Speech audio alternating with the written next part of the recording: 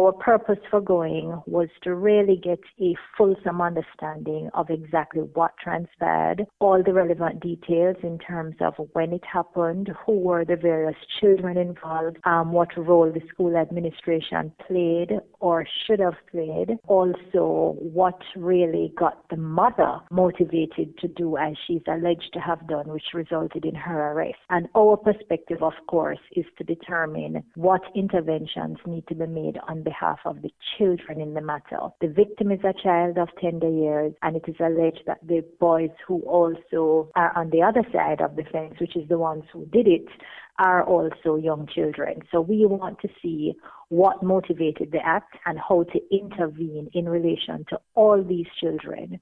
If it is that the boys have, let's say, cognitive developmental issues which affect the way they operate and the way they interact in a social space, then you'd have to look at what needs to happen to bring them up to a particular level or to put them in an environment that they can properly function. Um, it could be that they need specially trained persons to deal with them to curb what may be the manifestation of antisocial behavior, which is coming about because they have cognitive um, issues.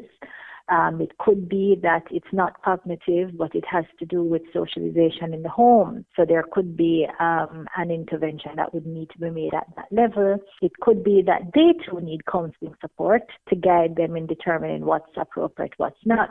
So it really is a wide range of possibilities which have all to be targeted based on what we find.